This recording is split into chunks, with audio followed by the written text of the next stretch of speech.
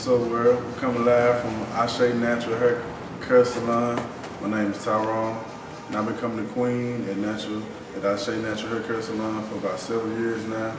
And um, when I first met Queen, I had just got my locks started, but my beautician, she ain't really know what she was doing, and you know what I mean.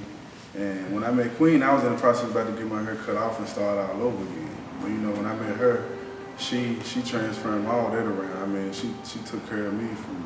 I mean, it was a, a total transformation. Like I couldn't believe because I was ready to hack it off. I was wearing a hat every day on my head. All the people who knew me were like, man, let me see your hair, let me see your hair. Be like, nah, I wasn't locked, man, they messed up. Let me see it, they supposed to be napped, you know what I'm saying, this, that, and up.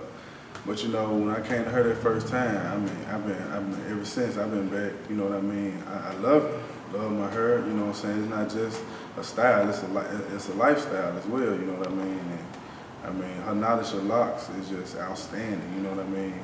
And then, like, you come in the shop, the atmosphere, you know what I'm saying, the vibe you get in here. I mean, from the people, everybody's friendly, everybody, you know what I mean, everybody's cool. You, like you've been on your whole life almost, you know what I'm saying? So, I mean, if you got locks and you in the Memphis and surrounding areas, if you ain't in Ashe Natural Hair Care Salon, I mean, you, you missing out.